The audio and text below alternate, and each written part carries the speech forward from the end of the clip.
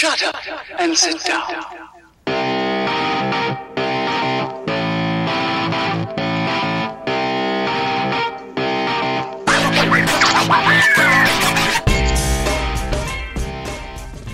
Good. I like it. I like it a lot. Yes. Yeah.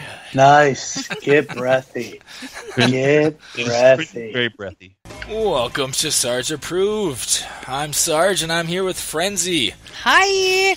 And we got a guest host this evening, a friend of the show, friend of ours, Mr. Larry Roberts, host of Accidentally the Whole Tip. What's happening? How's it going, man? Welcome back. Uh, another exciting. What is this? Larry. Thursday?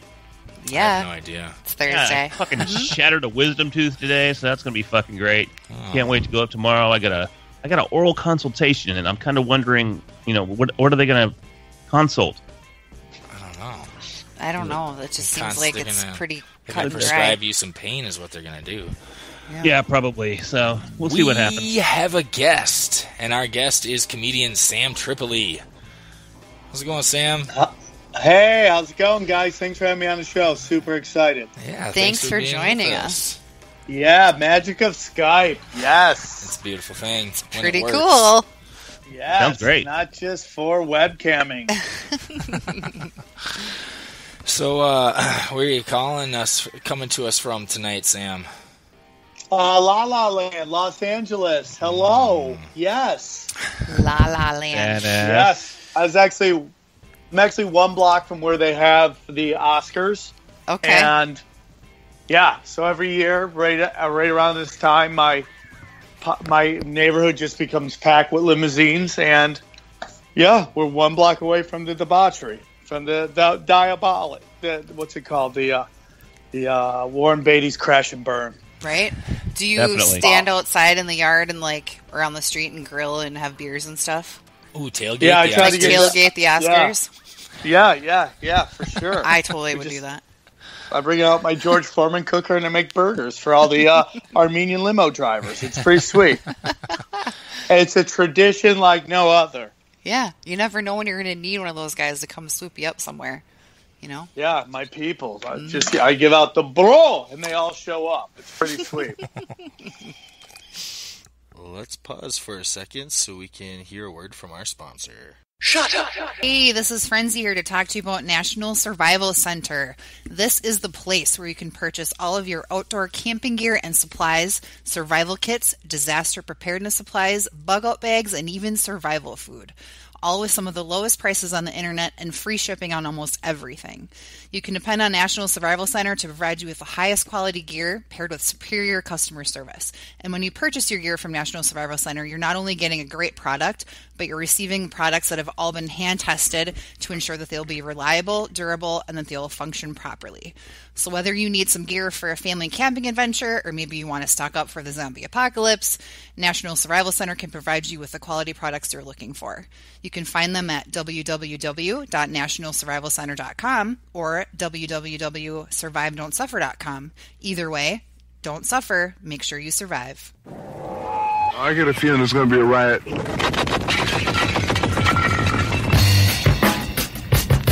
I don't read the newspapers because they all have ugly prints.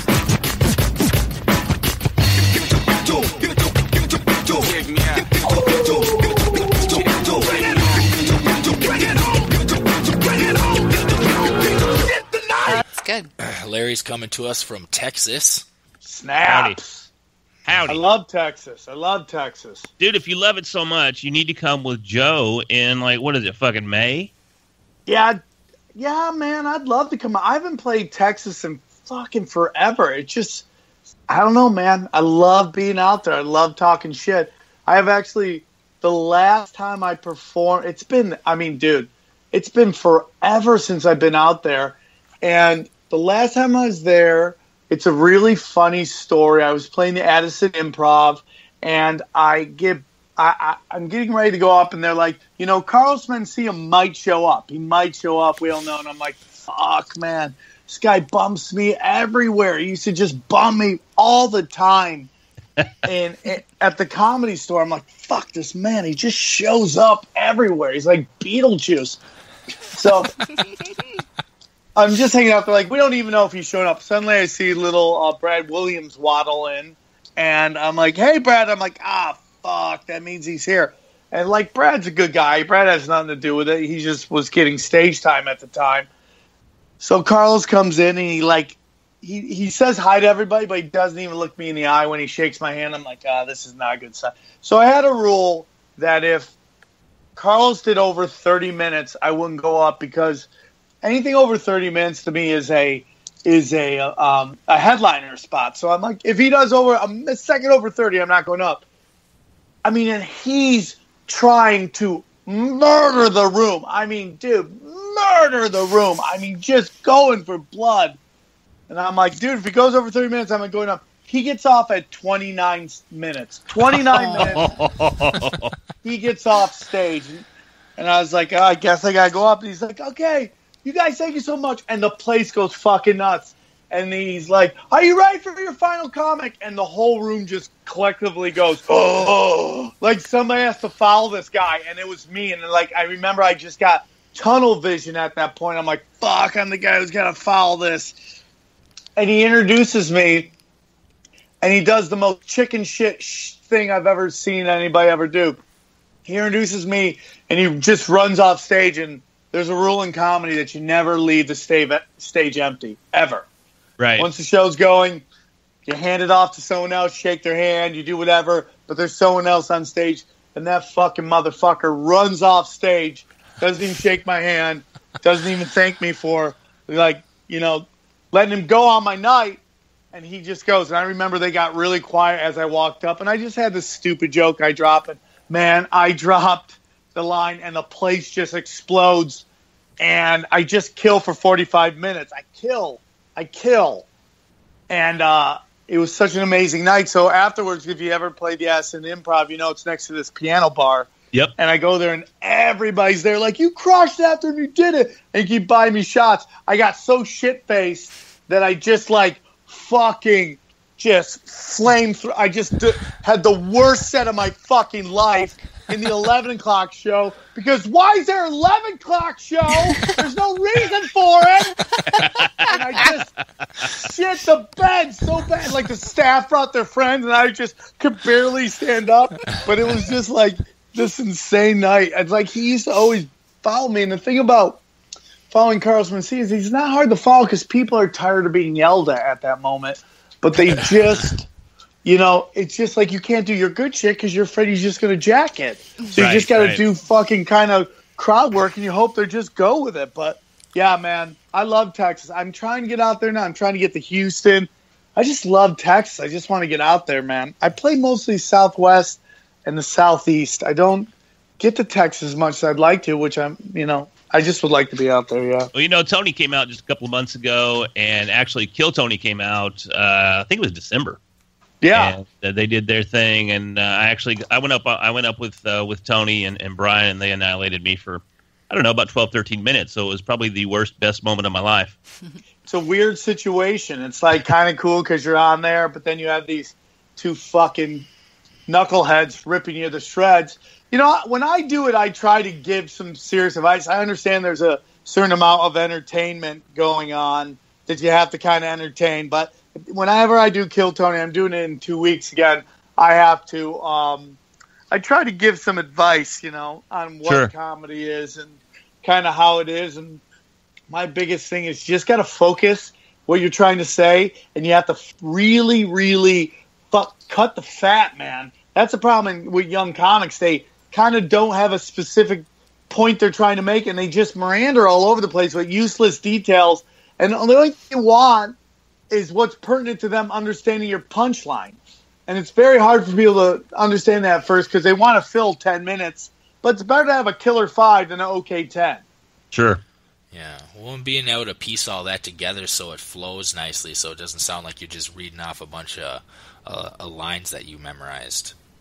Yeah, I mean, the hardest thing about it, it it's easier said than done because it takes very long to understand that. It's like your act has to be living. Like, I can't express it enough how important it is to be in the moment of anything. Like, slow down and be in the moment. And, like, if it's not going good, the best thing you could say is that it's not going good, mm-hmm. you know, and just like really embrace that you're eating a dog's dick on stage instead of just hurrying up and, and flying through the whole act and just trying to, if you, you hit them with more punchlines, it's going to go better. It's actually the calmer you are with them, the more they are likely to come on your side. It's just a, a it's all psychological Jedi Knight shit, you know, Jedi fucking shit. Which is this movie that I'm in called Dying Laughing. It's all about the art of stand up, the how to write a joke and all that shit. Some people think it's a little bit of inside baseball, but I think it's the best doc on stand up comedy. It's in it's in a bunch of movie theaters. You can also get on any video on demand. Dying Laugh. It's really good, dude. Comedy is purely a result of your ability to withstand self torture. A lot of comedians just want laugh, laugh, laugh, laugh, laugh, laugh, laugh. I like laugh, boo, laugh. When you walk out on stage, the only thing you can do is grab the reins and just try to ride it. They'll know when it's a set joke, and they'll know when it's coming from your heart. It doesn't matter how long you've been doing stand up comedy, you are never exempt from a bad night. See, when you heckle me, you're trying to hurt my feelings. Just know I'm dead on the inside. It's definitely not like a great way to invest in your romantic life. There's got to be a secret, right? Well, Kevin, I didn't see it. I'm like, see what? What are you, what are you talking about? Potential. I don't think you have what it takes to be a comedian. I said, God damn. To my face? Next. Not doing well as a comedian is an existential crisis. I've had 500 people in a room, and it's been going so badly that at the back of the room, I heard.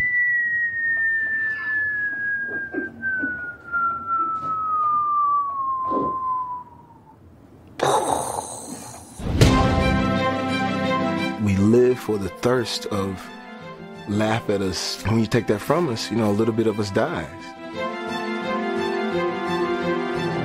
I'm telling them something that really happened to me to try to get out of someone wanting to fight me right now. There's a guy punched me on stage. And they literally uh, threw chairs at you. People have no filter. When I was younger, it used to just literally, uh, it would kill me.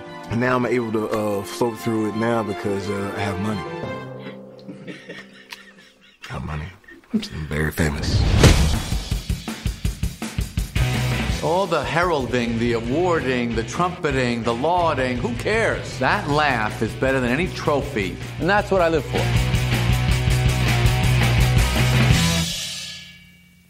Who uh, who put that together? Who who directed it and, and put that? These two together? fucking Brits. This guy named Paul Toogood uh, out of uh, England. They did the Art of Rap. That was really good. And they just like put together, and it's just like it's all heavy hitters too, dude. It's like all heavy hitters, and somehow I was able to make it in there, and it's it's really good. Talks about bomb, being on the road, bombing, how to deal with hecklers, all this shit. It's just it's really interesting shit, if, especially if you're a comic, dude. It's really interesting shit. Where can you Yeah, I'm definitely that gonna at? check it out. Yeah, where can you find that? Uh, you can just go on. It's on iTunes. It's on Google Play. It's on Amazon. It's on Video on Demand. You can go pretty much anywhere. And I think it's gonna after about a couple months, it's gonna be on Netflix after that. So I mean, like, dude, it's gorgeous. And if you go to Sam, YouTube.com backslash Sam Tripoli, you can see a trailer for it that I'm in. So it's it's it's just great. It's a lot of fun. Sam comedy is the best, craziest fucking thing you can get into. It's it's it's so much like porn stars and comedians have so much in common. They're almost the same thing. If I listed the characteristics of a comedian and a characteristic of a porn star, you'd be amazed how similar they are. Um, s- some kind of fucked up childhood, usually, right?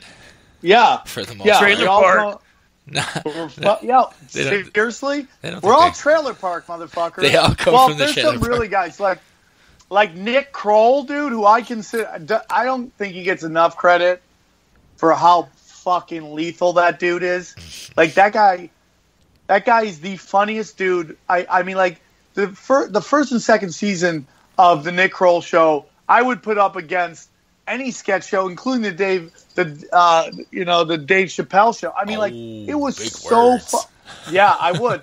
but it fits into my. It was. It fits into my wheelhouse. Yeah. But I, mean, like he's his parents are billionaires, so it's like everybody's. Chris D'Elia, great example. Like comes from like a fucking pretty good family, but that guy fucking wrecks rooms. Like, I mean, like it's you never know, dude. It's just like, but the one thing everybody has is just like you're just a square. You're just a a square peg trying to get in a round hole, and you got to kind of try to figure out how to how to maneuver through life. You know, and that's what comics are really good at. You know, and it's kind of weird to me though at the same time because a lot of comics are, are reclusive. But then at the same time, you have to get on stage and expose your deepest, darkest fears and some of your deepest, darkest secrets at the same time Oh, while dude. still building, re- being reclusive. Oh well, I have crippling social anxiety, dude. Crippling social anxiety. like I cannot hang out. I got you know. That's why I used to party pretty hard back in the day. You know, nothing makes you want to meet and greet and shake hands and kiss babies more than cocaine. You know what I'm saying? Do fucking Powdered- jacker, get out there, get fucking Powdered weird, and, right? Meet some girls. I don't know what it is about cokes, but chicks will light let you light them up on cocaine. I don't know what it is. They just like to get fucking weird, and you combine that with the fact that you know you do a line of coke, you feel like you're like Motley Crue in that "Girls, Girls, Girls" video where they're walking through the strip bar and everybody's trying to jock their dick, and you're like, "I'm the fucking golden god," and that's you know, but that's like fucking. That's just what coke does, and that's why a lot it- of comics are, are get drug problems because they do have some weirdness. But then there's the other side, which is the comics who make business decisions, who like decide they're going to do do this like kind of clean comedy or corporate comedy, or, or like what I'm what, what I'm seeing a lot of right now is pop comedy, a lot of pop comedy in which they're kind of talking about shit we've all heard before, or they take very hacky takes on like uh, maybe a real event in their life, but it's the hackiest take possible. You know, behind every pop song, there's something that happened, and that's why it inspired the song. But it's such a ha- hacky take on a song and uh, on that event that becomes a pop song. And those people make business decisions, and they grow up and they're fucking miserable people, and they're all in therapy. You know, so it's like, what's the answer? So we're we gonna start getting like Milli, Milli Vanilli kind of style comedians? These these corporate constructed comedians that are just Well, I mean, well, I mean, like you've seen fed it right now. You're just seeing the the that looks looks are. Well, I mean, if you look at a lot of the community, I'm like, listen, dude, whatever it takes to make it in business, fucking do it, man. Whatever you gotta fucking do, short of stealing from people, do what you gotta fucking do, man. You know, that's the only Sucking thing. Don't dick or what? I mean, Hey, dude, Yeah, if far are we that's what, hey, if that is in your wheelhouse, there's a fucking gay mafia in Hollywood that if you're willing to fucking blow somebody, some shit might happen. Listen, whatever it takes. If I was a chick, I'd be fucking selling my pussy to the fucking highest bidder. I'd be like an auctioneer with my snatch. Be like five, five, five, four, four, four, I have four, said that. You know? I've said that my whole life. I swear to God, I always said that if I had a vagina, I'd rule the fucking world, and I, I firmly believe like- that. I dude, I would just be I would dude, who wants to fuck their way to the middle? I don't fucking get that shit. I would You know, so it's like you gotta do but you know, I I, I just see the point now where like I can tell somebody's act as they're walking to stage. Yes, I've been doing comedy for two decades, but I can I know what so, someone's going to talk about walking on stage. I now watch like everything in comedy now is like guys, why do we do this? Girls, why do you do this, guys? And it's just it's so annoying to me. Like my new album that's coming out, it's called The Diabolical. Um, it's a two disc CD, two album CD. The first album is called The Diabolical. It's a storytelling podcast. I tell a story about um, being on the run from police helicopters and getting away, and then uh, I was hired to do a fundraiser for some rednecks who wanted to build a spaceship to get to space and what that was about. And then the second album is called Friday Night Late Show, and it's a uh, I- just record the set where like the crowd is so drunk and sloppy at the Sacramento Punchline that fucking you know five minutes in I realize this is an unrecordable set. And I just start just dropping hammer on drunk people. And it's like an hour of me just fighting drunks the whole time. And it's a lot of fun. So yeah, that comes out on the seventeenth. You can pre-order that right now on iTunes. Just look, put in Sam Tripoli, look for the Smiling Baby. It's two disc CD for the price of one. So yeah, I just think I, be, I get called old school a lot, which is really weird. In what way? You know. Well, I don't know. I'm trying to like when I was young, I got called too dirty. I think people try to come up with ways to explain why your their their comedy is better than your comedy, and they have to have an explanation for it than just accepting that everybody's different, man. Have a good time. So now I get told I, I'm old school, which I think means I have punchlines in my comedy now. I have a I have a punchline to laugh at, and I don't know if that's as prevalent bef- now. So it's interesting. It's just interesting. you know, one of the things I see in the Dallas Fort Worth comedy scene, if you want to call it that, you know, Addison's huge. Uh, Arlington is blowing up. They have an, uh, an improv there. And Hyenas is making a pretty good impact in the area, too. And that's where Tony took uh, Kill Tony. But one of the requirements at Hyenas is that you have a clean set. Um, is, is that common? Um, there, I think that was very common before. There's only one comedy club in LA that is a clean comedy club, and that is the Comedy Magic Club. Uh, there was a co- there was a couple comedy clubs who tried to make clean comedy, fi- but it just doesn't it doesn't work. It just doesn't work. It's not. There's something wrong about that. Like that just shouldn't be. I feel like it's not the same Oh, hey, Frankie. experience. Hi. Um, you don't think that? I don't think it should be clean. Like usually when they say clean, they don't really mean clean. Because I have friends of mine like Jon Caparulo who drops f bombs every other word. It's just it's not clean. It's safe. What's safe comedy? You know, and I could talk about puppies and people would still think, you know, I'm a Right. fucking bad man. um, you know, so it's it's like what is it? I think it should just be funny. Here's the problem with comedy clubs. Here's the problem with comedy clubs is that they're the only form of entertainment that runs away from the train wreck model of promotion that all other entertainment does. Uh, how crazy, outlandish, weird, offensive, edgy can you be to get people to come look at your product? Every other form does it, whether it's music, television, movies, everything. But stand up comedy clubs go the opposite way. They just want to get cleaner and cleaner and cleaner. And, and what happens is eventually they just have to paper the room, which is the, uh, the suicide note, note of comedy. When you start papering your room all the time, your club is co- coming to an end because that means people don't want to pay for your product. Instead, it should be like, hey, dude, have some crazy shit go on. People want to come see it. That's Right. all it is. What's the There's reasoning reason. though? Why? But why do you feel like they're like they're going the other way, where they're trying to be more safe? Well, I wouldn't say it's going the other way. I would say it staying that way is because a comedy club's owners are owned by business people, and there's nothing wrong with that. You know, to be a business person, the business model is keep it safe and make other people happy. But that's not what entertainment does.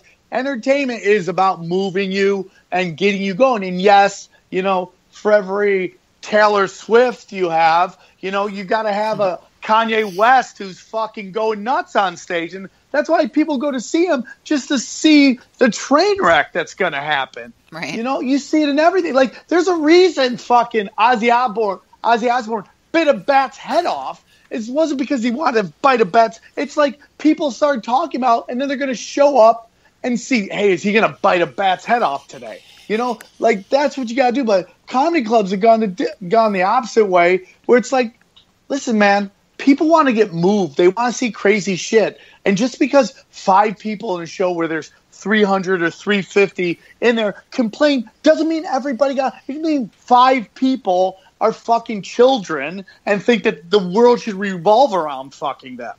Yeah, so Yep. you think they're trying to have this this good business model where it's like guest service or customer service and like if five people are pissed off then we're going to try and change and make we want to make everybody happy basically and have Yeah, this it's business not real. model That doesn't- yeah that's dumb i agree You shouldn't be able to own a comedy club unless you're like a legitimate fan of comedy or a former comedian, current comedian. You, you know well, what I, I find that even foreign com- uh, former comedians they get they get a club and then they just really go hard on business, and then it's like you're like, and it's just weird. I mean, like comedy club owners do the be- they're they're doing the best they can. Some are cool, some are not cool. It's it's like anything in the world, man. There's some very cool comedy club owners out there, you know, like Tammy Bronson who owns all the House of Comedies. Like she's wonderful. Like I literally did this club in Edmonton, uh, Canada. I got off stage twice, and they pulled me aside. The club owners were like, uh, "Can you get dirtier? I've never had that in my life." Fucking And I bonus. go, Can you filth it up? So the next show, I'm just jumping on stage, like yelling, "Hey, can I eat your asshole?" That's all I'm yelling at people. can I eat your ass?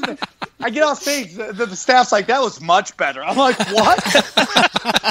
they're like but you could have gone a little further if you wanted to yeah we would have been cool And with it just- I just like at the end of the day is like at the end of the day is like did the majority of the people be entertained? Like you just can't yell and scream at people. There has to be a degree of entertainment.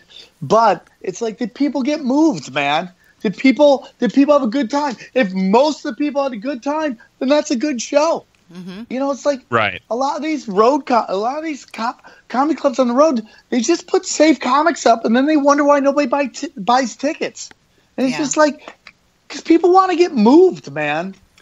It's it, but it's a great time to be in comedy too because you could literally create your own following, and it's wonderful. Look at what you guys are doing, man. You guys have a very successful podcast. You know, I have a podcast called Punch Drunk Sports. We've been doing it for about five years, and it's got a huge following. And now I, I got this new podcast called Tinfoil Hat, and it's a uh, conspiracy podcast. And man, people are just fucking flocking to it, and it's a lot of fucking fun. and that's check all you that got to do.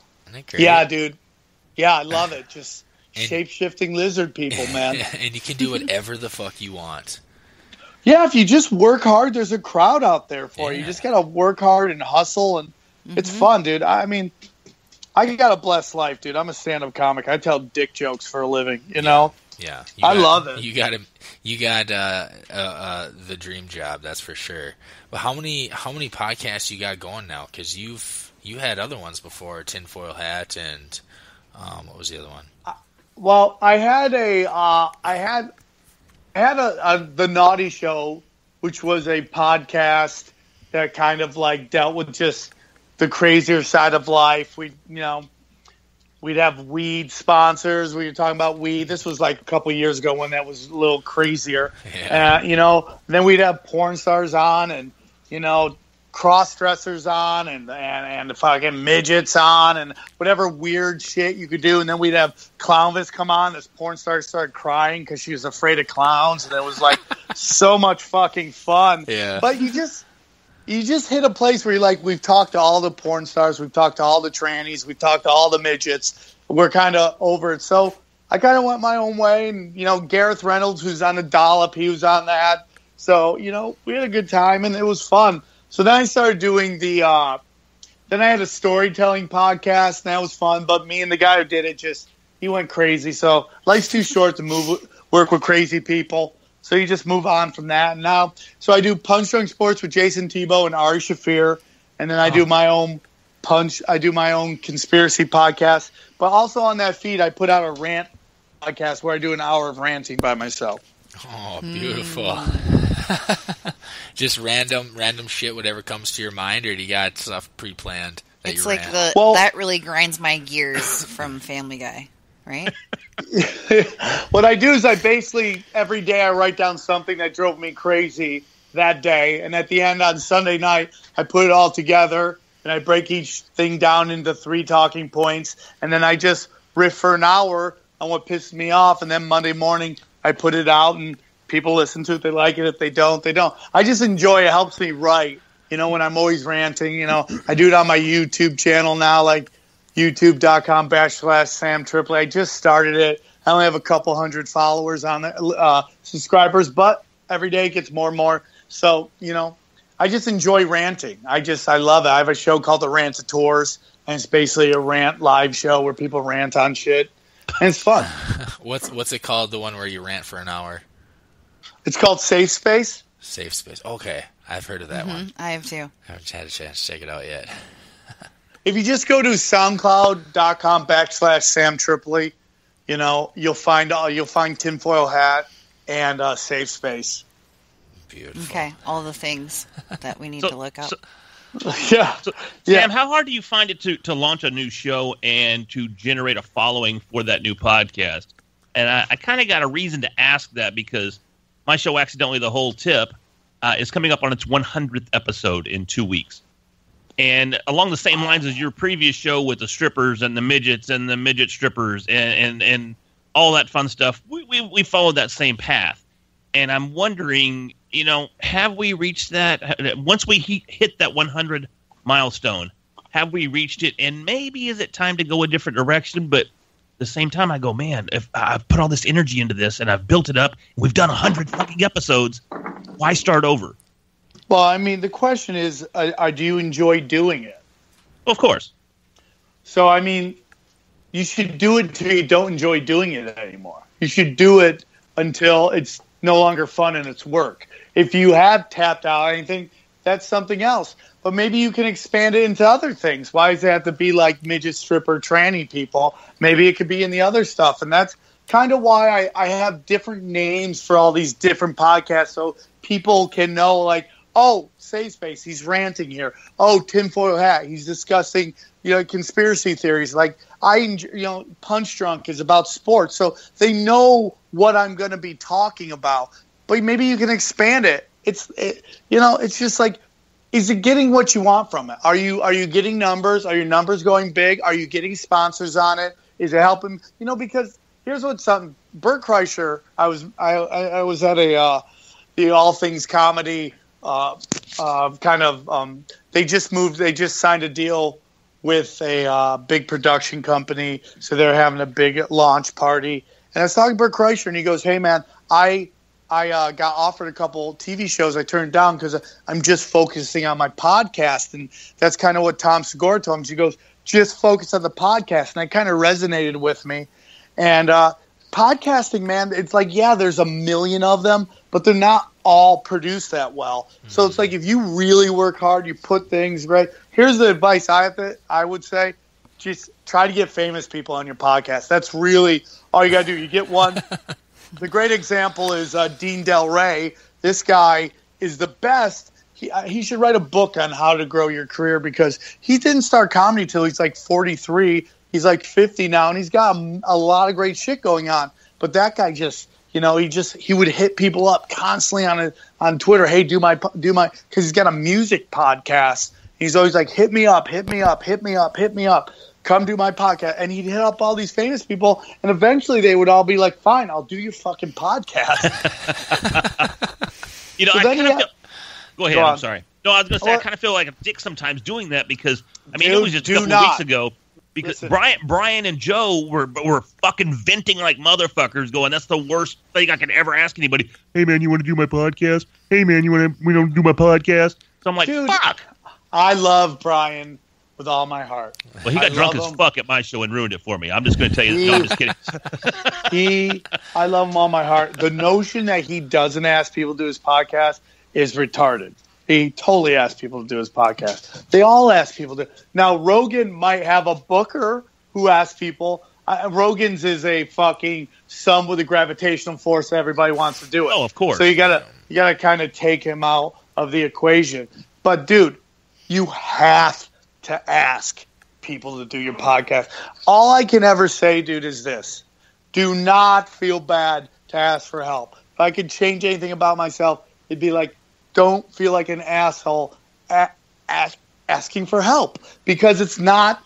It's what you do. The difference between people who made it and the difference who people did, and this is my god honest belief being in LA is the people who made it asked for help. Didn't weren't afraid to ask for people to give them, and nobody made it without help. Nobody, nobody made it without a little help.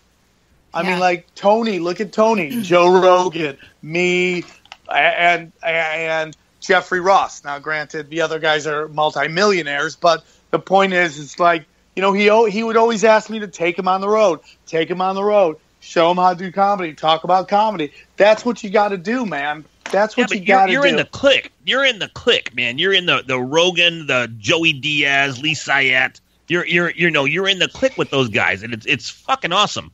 And Yeah. as- being somebody on the outside looking in, I go, God damn, that has got to be the greatest fucking life to be in that clique.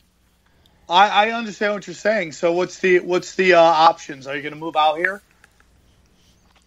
Uh, Are you moving here? Abba, abba, abba, abba, abba. Yeah, No, you know, I'm a tw- I'm a 20 year yes. hey, Larry, what? Uh, I, I thought you were interrupting me. I'm sorry. Am I taking over your show? No, Uh, no, I- go. I was asking, now are you going to move out there? I'm not opposed to it. You know, there's very little things holding me here other than my wife, and she'd go too in a heartbeat. So, but uh, I'm 44. You know, I mean, I've got a 20 year corporate career underneath me. I'm uh, Yeah. not overly happy with the 20 year corporate career, but don't tell anybody that. Um, but I you know, I'm, I'm you're I'm, just on a podcast. That's all.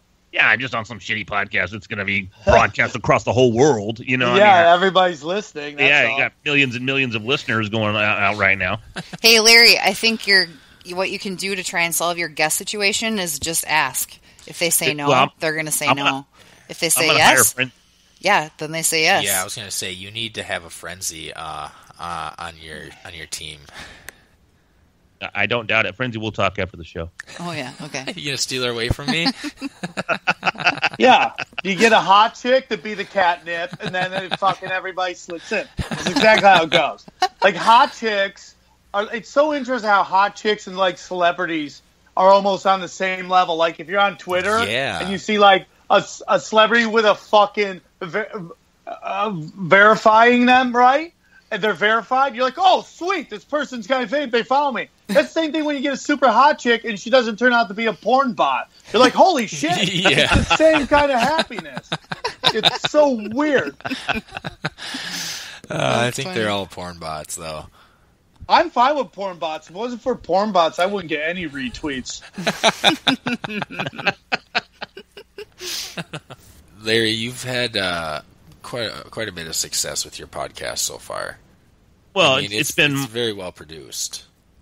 Well, I'll take the credit for that. Yeah, it is well produced, but no, I'm just kidding. Um, yeah, I mean it's home produced. I got a home studio. I, I, I launched the studio to do voiceover work, and fell in love with podcasting. I said, "Fuck that voiceover stuff. I'm going to do podcasting."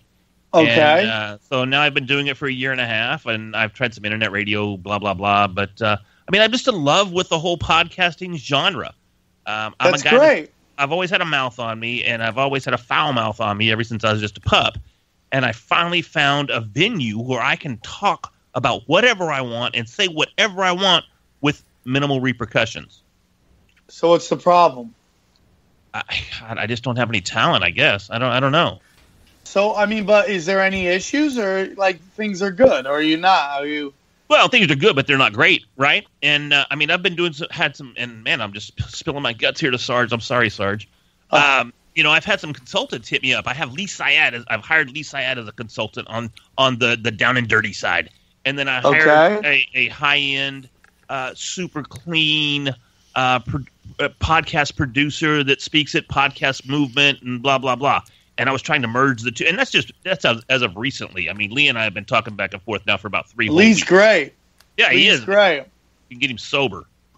Yeah. Hey Lee. Well, he works with Joey Diaz. I know, right? You know, like, hey. that's I've been there where he's just like a super high meat wad. no, it's a blast. I mean, I, and uh, I'm trying to fill in the holes. I really am. I'm trying to fill in the holes to take it to the next level. Uh, just like Um, Sergeant and Frenzy are doing, and, and it looks like they're doing great by getting guests like yourself on their show. Well, then you should do that too. Larry, I, I'm already going to tell you. I know where this is coming from. I feel like a little bit is because you you got bit by having the guest bug. You like having guest you like bug? guests. You like Oh, having the bug, guest yeah. situation. Like that has kind of made you start thinking like, eh, maybe well, I can and, and uh, do honestly, something but- with that. Well, that would be great because honestly, what I've done on my show as of the last last weekend, as a matter of fact, I went and looked back at the last fifty episodes, and I said, "All right, what did we do on these twenty five, and what did we do on these twenty five, and what did we do different?" And when we had guests, we did even even better. Mhm. And then we got the cocky bug going. Oh well, me and Jay, we can take this train wherever we want, right? And uh, we started to see Listen, the dude, there's only one group of people. There's only one guy that could do fucking it all on his own. That's Bill Burr, and he's Oh just no! Yeah, yeah, yeah, yeah. You know, He's one of it's like kind. he just, he just like he's just the only guy. You know, and you'd like to be that dude, but it's just he's the only guy that I know that can do a podcast all by himself, and people just go crazy for. I, I don't just- disagree. Yeah. You know, I uh, think so- with, I think with I the have a- I have a podcast, guest- you I have a co-host though. Sorry. Go yeah, ahead. no, you have a I'll shut co. Yeah, no, I was just saying with podcasting and your specific podcast, I think it's important to have kind of your kind of your mission, I guess, is what we would call it here at Sarge Approved, but kind of your purpose and what you're trying to accomplish and do and whatever that is, what whatever message you're trying to send, because then you can build upon that and make that really strong. Because I feel like sometimes when you don't have that, it's kind of like, well, what are we kind of doing? Like we kind of want to do this or whatever, but when you can actually say it out loud and then other people like explain it to other people like you hear that you know for the first time you're like holy shit like we are portraying what we're trying to do and someone else got it and explained it to somebody else like that's fucking awesome so it's kind Yeah. of you know right on having that kind of thing going yeah. on What is what are you trying to do with your podcast? Honestly, I was trying to break into the podcast market. I mean, just like every other podcaster out there. And I, I didn't mean to turn this into the Larry Roberts accidentally the whole tip uh, therapy session. Fine. I'm If they're charging cool you. with I'm sending you a. This bill is- at the end of the is- show. This is an intervention, Larry. We've we've, Is that what it we've is? gathered everyone together here. Yep. And uh, we want to talk Thanks, to you about your guys. podcast. Kumbaya. and we're gonna send you the bill too, so it's cool. Sam, how about I have you on my show and you and I talk about it? Sounds like sounds good to me, dude. All right, we'll see if we can set me. something up. So I'm going to turn it back over to Sarge and Frenzy. Oh, what were we talking about before we got on the podcast topic? We Uh, talked yeah, about that we were before. just talking about comedy, Comedy clubs. in general, Yeah. where comedy is, and all that stuff. I mean, I could talk about anything, guys. Whatever you want to talk about. What do you got? Uh, what do you got coming up in the very near future? Well, I'm um, I'm doing some dates. I'm on the road. I'm I'm gonna try to put together. Uh, an, I, I have enough time to do an hour special. I'm just debating whether I want to be the best of everything I did, which is the old way of doing it, which was you know your first special you put out your best shit, or do I, I do like mostly new shit? I kind of wanted the first one to be like the best of everything I've ever ever done in one, you know, in one special, then I could come back a little later very quickly with a whole new hour of greatness. I know on this last album, I, I, I didn't, I have a story about smoking crack with robot. Now, he tries to suck my dick, and I, I didn't really talk about that in this one. So there's a whole bunch of stuff I want to do. I just don't, you know, so I'm going to put together then I'm just working on selling shit out here too. So that's kind of it. Like Al Madrigal said a, a great thing to me. He's like, you want to be able to do com- comedy at 50. You don't want to have to do comedy at 50. And that always resonated with me. So now I'm working on building, you know, all the other parts, the brand. It's, you know, like uh, Punch Drunk Sports is now becoming a network and, um, you know, just building the brand and getting sponsors and all that shit. And you know, I'm blessed. Like I, I do, I talk comedy for two hours a week, and I pay all my bills. So everything above that is just straight cash. You know, just, just you know, icing on the cake, and it's very a blessing. And I can get really up, really depressed if I look at like how people around me are doing because I'm literally friends with people who are like the the one percent of the one percent of comedy, you know, and it and that can get to you if you let it. Yeah. It can get to you Yeah. if you like. you I'm let not. I'm. You know, it's like I got Tom Segura into stand up comedy. I'm the one who told him he should do it. You know. Yeah. And you guys like found him on the road or something, didn't you? no, we were in a uh, we were in an improv class together. Mm. And I was like, dude, you're really funny. Uh, you should try stand up. So I took him on the road and I, you know, and uh, he learned to do stand, but now he's like one. He's just selling out everything now. You know, just like it's fucking amazing. And those are all my friends: Duncan, Ari Shaffir, all those guys. So if I if I, I start comparing myself to them, I could easily get very depressed, or I could just you know just be very thankful that I have what I have, which is you know a lot. I'm very blessed. So you know that's kind of what I'm working on. Just I don't want to. I'm you know getting. I have my own show in Vegas for a while, so I have these chat these things I want to do in comedy, and I do it. So that's what I mm-hmm. try to do. I don't want to get too serious. I feel like I just became Tony Robbins and shit. I am so motivated right now. Oh my god! I like wanna- I might go run. Where are you from? Canada? Uh, pretty close, Minnesota. Oh yeah, I love Minnesota, dude. I love it. It's a great Minnesota's state to do bomb. comedy. A- have you been to Acme?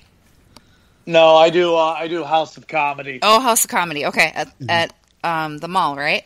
Yeah, the, The giant MOA? fucking mall that they want to add Yeah. more, more. Th- I'm like, dude, you guys are crazy. They've added more shit already. add another mall to they the mall. added like a JW Marriott and some like business stuff and redid all the food courts so they're super fancy now. Well, the one thing I do love about going to to that going to the uh, house, the Mall of America, is they have pita pit in the Mall of America. Oh, yeah, We don't get pita pit anywhere else, and I fucking love pita pit. Do you like the breakfast ones? You ever had a No, I breakfast, just go breakfast straight pita? grilled chicken. Oh, straight grilled chicken. good too. Yeah, totally. Straight grilled, man. That's all I give a shit about. I love the straight grilled. So I love it, man. I love going out there. I love touring. I love I love being on the road, man. I love being on the road. I like they just go around and just put, you know it's man, it's like just put out all the content you can. That's like the thing about comedy now. It's just like the whole it used to be when when I started 20 something years ago, it was all about, you know, you got to keep it till it's perfect, then you release it. Now it's just like dump it, dump it, dump it, dump it out, put it out, put it out, put it out cuz all pe- people are just on their phones all the time. They can't get enough fucking information. They can't digest Yeah. enough content. Right. So they constantly want content. So just keep putting out, put it out. You know, I overthink everything. It's like, no, man, just keep pushing it. And that's all you could do, man. That's all you could do is just keep putting out content. And that's what I do with my YouTube. I rant, I do all that crazy shit. So, yeah, that's kind of where I'm at right now. I feel like I'm just yelling at you guys the whole time. No, I th- yeah, I, th- I thought you were going into one of your rants. You guys, No, it's guys all good. some fun- It's all good. I uh, I just I guess I could tell you some weird fucking stories of uh with I, I I'm like the Patrick Swayze of Roadhouse of comedy.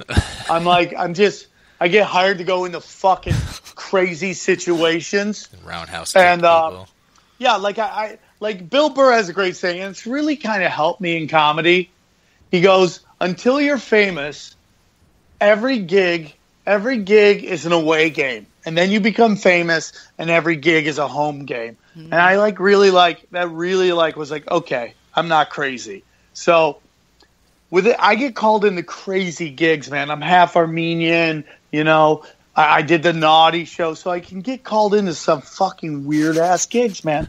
so within one week, I got called in to do an Armenian preschool fundraiser. That within seven days of that, I was doing Fat Mike from NoFX Bert 50th birthday party in a sex dungeon by LAX in Los Angeles. And fuck. And I don't know if you guys know this, but by if you go on your Craigslist, if you go on Craigslist, you look at like uh fucking what's it called? Chance meeting? No, what are they called? Uh Um, It was like missed chance encounter or misconnection. misconnections. No, something encounters, casual encounters, casual encounters. So you go to casual encounters, you'll find that the most of the deviant shit happens near the airport. You need a quick Because getaway. Dudes fly in, get weird, get pegged in the ass, jump on their flight, get the fuck out. So this fucking Probably mostly pilots. I need to leave the country immediately. Yeah, it's mostly yeah, I don't. airline yeah, pilots. I have a wife and kids. Yeah. So, so they, um, so this dungeon is right next to LAX, and um, Do you know Fat Mike from NoFX is by chance? No, Fat Mike.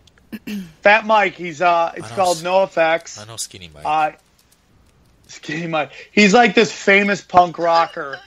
And he's like, like very famous because uh, he kind of did. He be, got this huge, huge, huge like punk rock empire, and he didn't do and never got an MTV, never got played on anything. He just kind of did it all himself. So he's he's kind of fucking famous about this. So, anyways, it's his 50th birthday party. His wife is this woman called Soma Snake Oil, and she's this famous dominatrix out of yeah, dude. She's this dominatrix. If you look her up, she's fucking got some fucking crazy shit. Um, so Soma snake oil. so yeah, you're looking it up. That's great. So I get I'm goes, looking. Hey Sam, come. I want you to host Fat Mike's birthday party. Go to this dungeon. So I go there, man, and like very quickly, I realize that I am the most vanilla dude in the place. Like I'm like a Mormon missionary in this fucking den of iniquity, and it's just like so. I'm like, I get up stage, it's like, okay, I'm just gonna do dirty shit, but my dirty shit is vanilla for them. You know, like I like weird shit, like being called racial slurs in bed and shit like that. Like, you know, like, but these people are in the like, like one girl told me she liked to have sex with a knife to her throat. Like, oh, like we're talking like fucking crazy fucking shit. So I'm doing stand up, man, and I'm talking and I'm doing act, and I start getting heckled by this fucking guy that's dressed like a minotaur, like a cross-dressing minotaur. He has like fucking those weird horn implants. His eyes are all tattooed black, and he's in a dress. So I'm getting heckled by him, and he's every time I take a breath, he just yells, "I want to fuck your ass!" And I was like, and you get this huge laugh, and it kind of saved my act. So I dropped the bit and I started pounding on this guy. And, uh, you know, it was like getting heckled by the lion, the witch, and the wardrobe all at one time from Narnia. and uh, so I just get off stage and, like, dude, after the comedy goes on, they do all this dominatrix shit. And these, and like, this really gorgeous chick just, like, walks over fucking broken glass and lays in it like it's nothing. And then at the end, this, this, uh, this black nun and this white pastor come up on stage and they brand the chick right on stage. Brand her. Holy like I could smell it and I was like, fuck, this ain't fucking Kansas, Toadil. You know what I'm saying? Like it's fucking it was the craziest gig I've ever done, dude. Oh the craziest gig I've ever done, man. I hope you It got was paid well nuts. for that one. I did, but it was still I would have done it even if I didn't get paid. Yeah, well. it sounds was- fun. It sounds like holy shit. Thank you. I'm all about what weird shit can I get into? What weird shit can I? Because everything, it's like Doug Stanhope. He, there was a time where he would do anything for a joke. He would go up to see, like he once did uh, gay phone sex on acid just to see what it was lo- like if he could get a bit about it. Uh, and dude, it's he's you know. So I've always tried to do that shit. You know, and just try to weirder the shit, the better. I'll go into a bad situation if I can get a nice joke out of it. Yeah, how great is that to be able to be able to just uh, you know put yourself in fucked up situations like that, and and and basically it's it's work. You're working. That's your Yeah. job. That's your job. And tell a fucking funny ass joke, dude, Yeah. and try to get a laugh off it. Yeah, man, Beautiful. for sure, dude. I fucking yeah, it's That's craziness, dude. Yeah. Uh, well, um, what do you think? Should we wrap this thing up? You got to get out of here, don't you? Yeah, I gotta go. Uh, I'm having dinner with this. Do you guys know Tiffany Haddish? Have you ever heard Tiffany Haddish? Yep. The dude, that girl's gonna blow the fuck up, man. you watch some good. She's uh, she's so fucking funny. She's on um Doug Benson's new show, uh, Higher Court. Have you seen that? Where he gets baked out of his skull and he does um. No. He's a judge. It's on. It's on uh, Comedy Huh. Central. It's really funny. What's it called? Higher Court. Oh, yeah. Higher Court, Gotta okay. check that out. Yeah, it's really fucking That funny, sounds- dude. That sounds perfect. A perfect position for Doug, a judge. Yeah, a baked judge, a Right? baked judge. Just Yeah. So that's it it. down, So my new album, my new album is available um, on iTunes. It's the Diabolical, and check out the movie Dying Laughing. And um, yeah, man, I hope this was entertaining. I feel like I was just lecturing you kids. You fucking kids. You fuckers, get off my lawn. Fucking lawn. Yeah, dude, totally. Oh shit! No, I it just was- like I took over, it was and I want to apologize for that. I didn't mean to do that at all. Like we're all just apologizing. Just Just stop. Great show. That was you weird know, one. I'm, I'm really Sorry, sorry, about that, guys. You know, It's secure. We're not- been a long Well, day. I'm not sorry about shit. So we're gonna have Oh, to not look at talk for a while. Yeah, We're Minnesota don't give a fuck. yeah. Minnesota nice. What are you talking about? Minnesota has the highest rate of uh, teenage prostitution. Congratulations. Mm, Do we perfect. really? It's about time. Yeah. Can I Yeah. crash at your place, About Sarge? time. We've, There's Yeah. nothing else to do in the winter except drink and have sex. Apparently, We've been One hundred percent, dude. Fun All you do is. I love Minnesota. It's great. It's It a is hell of a state. Yeah, it is a hell of a state. I love it. I- Get weird, Minnesota. Get weird. Yeah. How much did you guys hate when they're like, feeling Minnesota? Go fuck yourself. It's, it's not that. Oh, it's not that. And when you did you guys like ban fucking Soundgarden from the state for a while? No. Like, fuck you. You don't want to come here? no. I think we actually liked it. I think we get more pissed when people are like, "Oh yeah, isn't that like where they the movie Fargo? Like Minnesota's in Fargo or Fargo's in Minnesota, right? Like that movie Fargo, you know?" And you're like, so "No, funny, dude. Okay. It's Fargo So is funny. not in Minnesota. I Fargo even- is not Minnesota. I haven't even seen It's Fargo. North Dakota. North Dakota. yeah. People should know that. They People should. know that. Sam, Yeah. one more one more quick question this weekend. Who do you have? You got Tony or you got Khabib?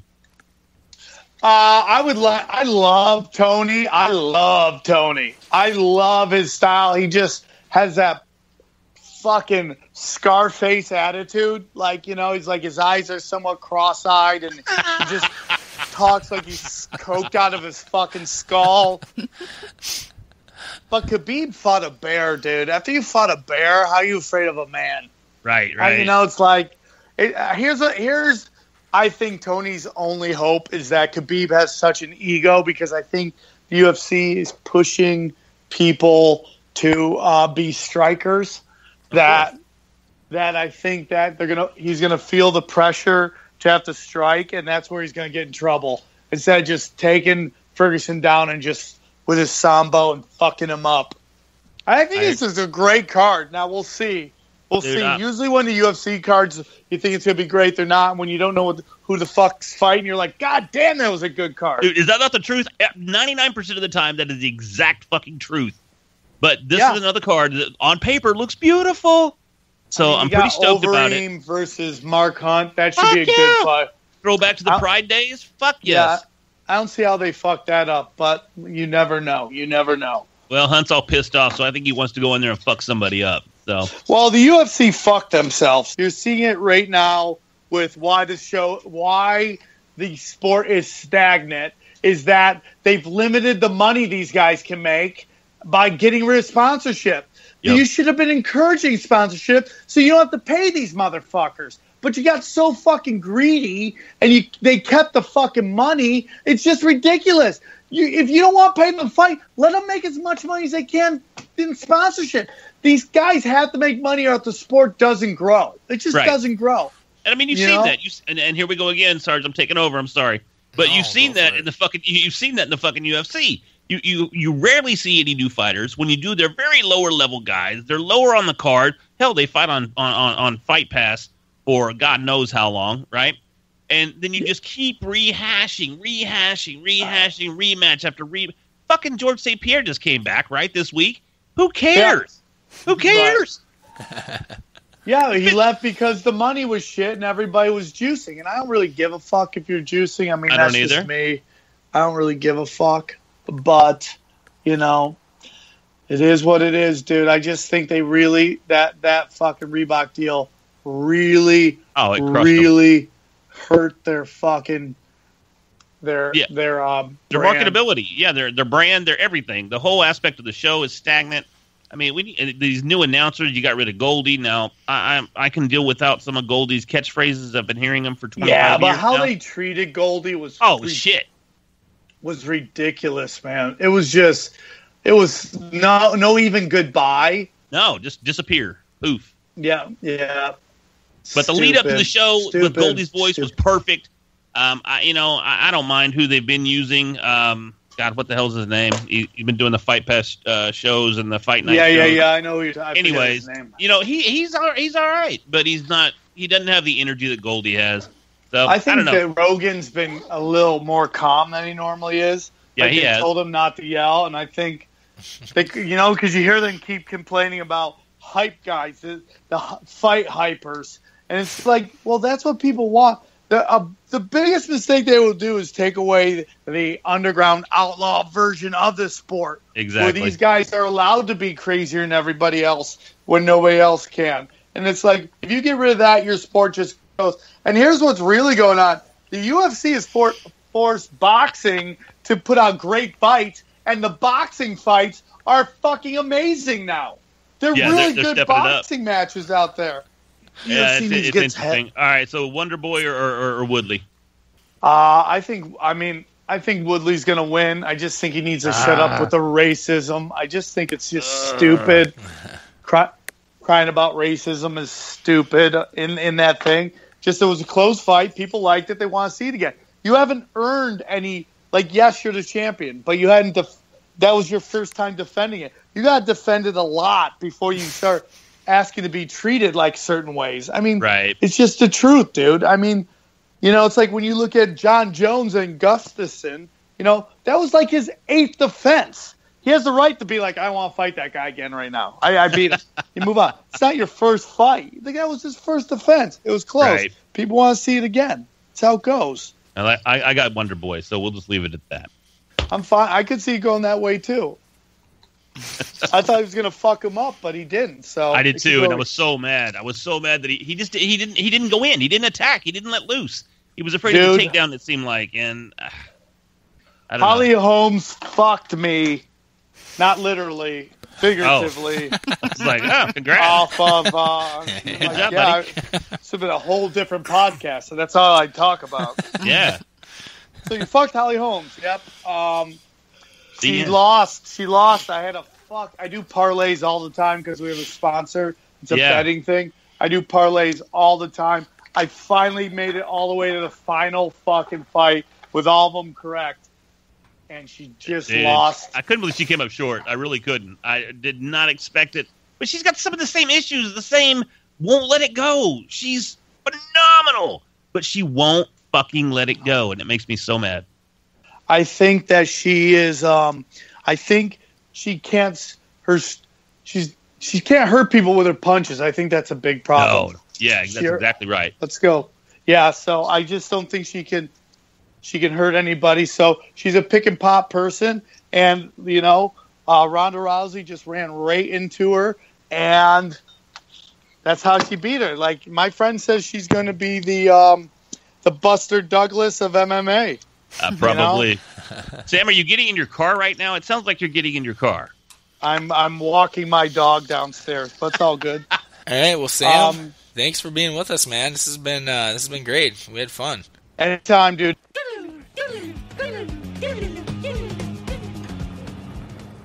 Uh, Happy New Year again. And uh, real quick, I just want to tell you that uh, the Raiders are going to murder everybody in the playoffs. You guys think we're down? You think we're out? This is what we wanted. We didn't want to win today. We wanted to play a game. Buys are for pussies, okay? Huh? We want to play. You guys are in trouble. We're going to destroy Houston. We are going to destroy Houston. We're going to go in there. We're going to kick the Texans' ass so badly that we're going to hurt the Rockets, too. James Harden's going to be crying, crying. Worse than when Khloe Kardashian left him. It's going to be murder.